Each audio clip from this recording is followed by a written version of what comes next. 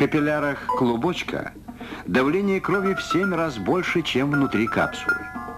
Вследствие разности давлений вода, а вместе с ней растворенные в ней вещества, фильтруются из крови в полость капсулы, а оттуда поступают в просвет извитого канальца.